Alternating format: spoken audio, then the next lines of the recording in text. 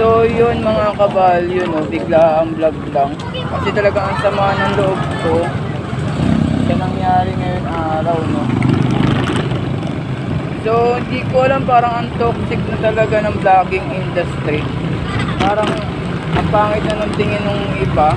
Or hindi naman siguro, pero parang ang tingin kasi ng mga tao ngayon sa mga motovloggers, sa mga vloggers is mapipera. So, to make it story short lang mga kabalyo, no? gusto ko lang kasi i-share yung nangyari sa akin kanina. So, kakain kasi sana ako dun sa mamahaling restaurant na kinakainan ko. So, alam nyo na yun, no, sa paborito ng mga riders, dun sa may parisan, kasi doon, masarap talaga yung sabaw saka yung chili nila. So, yun na nga, no, nangyari. May bata kasing lumapit sa akin mga kabalyo na nangihingi ng ano, nangihingi sana ng pangkain. So, ako, since concerned naman ako, nagtatanong ako kung nasan yung magulang niya, mama niya, papa niya. Tapos may biglang sumabat na ano, may biglang sumabat na isang netizen natin na nakita niya kasi na may camera yung yung helmet ko. So tinanong niya kung ba- bakit daw hindi ko tinulungan yung bata. Vlogger naman daw ako.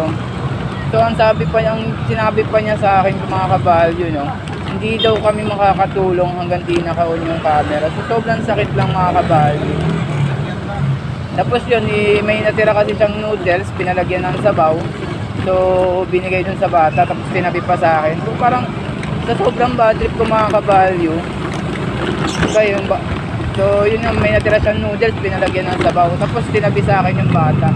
Sa sobrang bad trip ko mga kabalyo, Binu- binuksan ko yung camera ko, tinuto ko sa amin ng mga bata kasi baka ano masabi ko dun sa lalaki. Nakaka-bad trip lang kasi.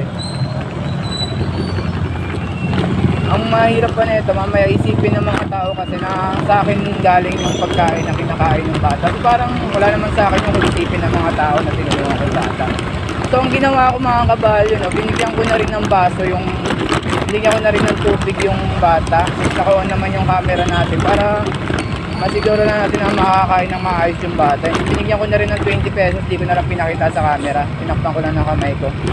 So yun lang mga kabali, sana ibayin natin yung tingin natin sa vlogging, no, vlogging. Kasi di naman lahat kami may kakayahan magbigay eh. Hindi kami lahat afford eh, afford na mag, mga ganong klaseng content, yung mamimigay ng mga Jollibee, Jollibee, McDo, hindi namin kaya, hindi lahat kaya ganun mga kabalo. So may trending pa ngayon, ang hashtag pa nga niyan, trending niya, trending yun ngayon, hashtag pa niya. At sarap tumulong ng palihim, pero yung view niya mga kabalo, 9 million views. So saan ka maniniwalang nak nakatulong siya ng palihim. So hindi naman natin sinisiraan, kasi content nila yun. Hindi natin sinisiraan, kanya-kanya kasi tayong content. Ang akin lang kasi, sana wag natin gawin yung mga Huwag natin gawin yung mga mahihirap. Gagawa tayo ng content para lang dyan. Para sa, sa mga views, views na ganyan. Hindi rin kasi natin masasabi. Kaya hindi ko rin alam talaga eh. Kasi ngayon, wala, wala pa tayong income, hindi ko rin masasabi. Yun lang mga kabalyo. Yung video ko nga pala regarding sa dalawang bata. Nasa YouTube ko mga kabalyo. Hindi ko pwedeng i-upload sa Facebook kasi baka mag-bash ako. Alam naman. So hindi talaga ako yung tumulong sa bata. Pero parang ganun yung nangyari sa video. So shoutout bakit? So parang ganun yung nangyari kasi Inon ko yung camera talaga eh. Pasensya na kayo mga kabayo. Talagang ang samahan ng loob ko. Naglabas lang talaga ako. No?